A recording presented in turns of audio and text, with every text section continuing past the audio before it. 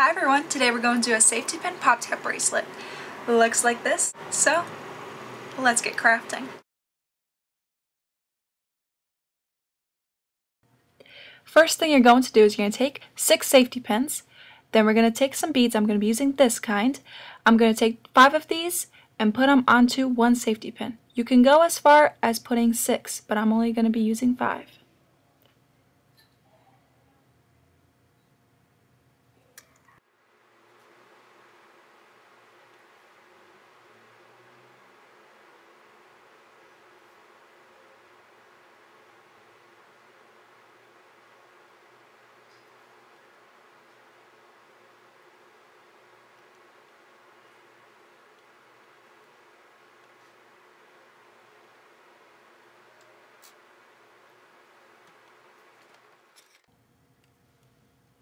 Next, I'm going to take some Mod Podge. And with this, we're going to apply it all over the beads.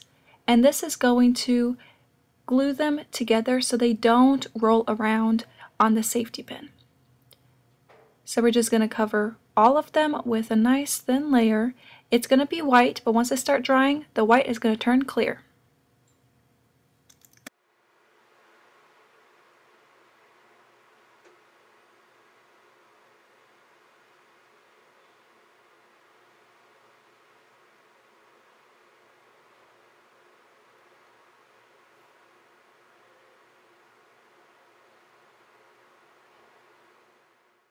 Once you're done applying the Mod Podge, you're going to put your safety pin on a non-sticky surface to dry.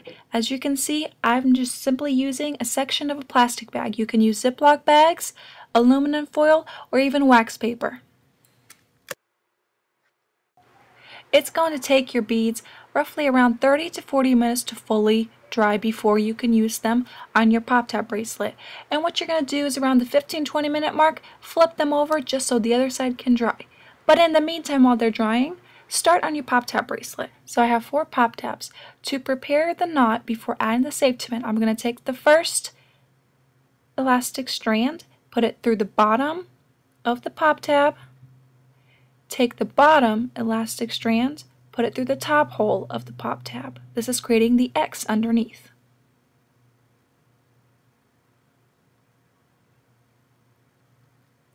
And then we're going to take both strands and just do a regular knot.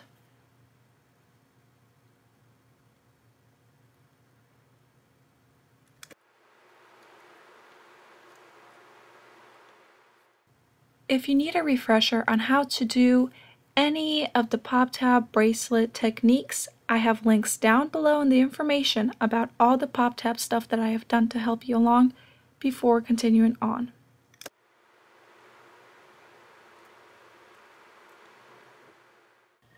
Now to add our safety pin, you're going to have the top portion of the safety pin and then the bottom portion.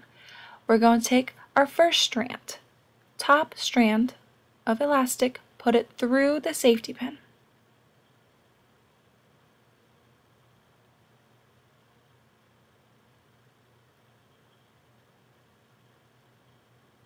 Then we're going to take our bottom elastic, or the second strand of elastic, and put it through the bottom loop of the safety pin.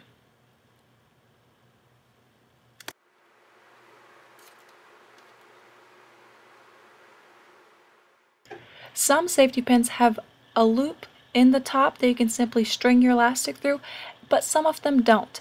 For my particular safety pins, I do not have that loop in the top. So once my safety pin is aligned, I'm going to simply stretch the top portion of the elastic and then just push the elastic up and catch it on the top portion of the safety pin. That is going to keep my safety pins straight and aligned.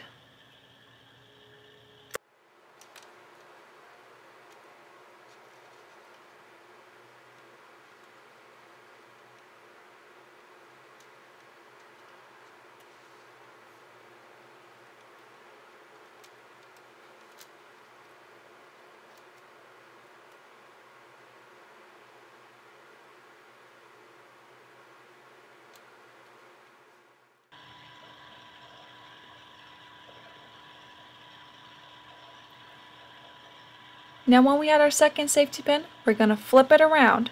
So the bottom loop is going to be at the top and the front is going to be at the bottom. We're going to take our first elastic strand, put it through the bottom loop,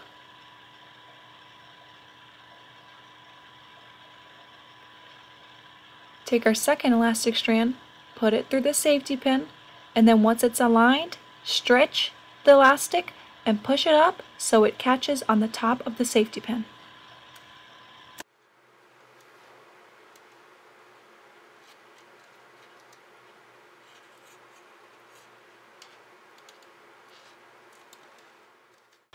And one more time. We're going to alternate the safety pin, take in our second strand, put it through the bottom loop of the safety pin, top strand to the top portion of the safety pin.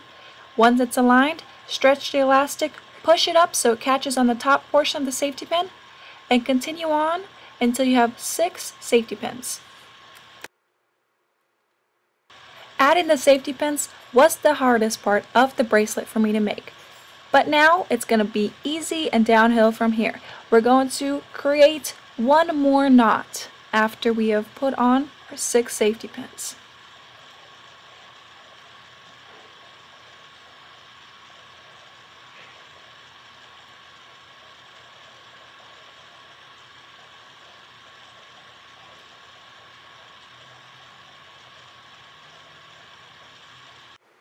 Safety pins should look like this with knots on each side.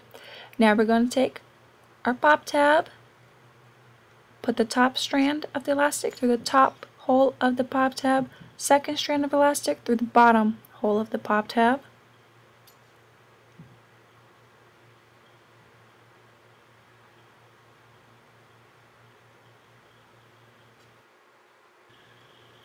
and then we're going to create that X on the bottom of the pop tab. So we're going to take our top string, put it towards the bottom, take our bottom string, pull it up towards the top.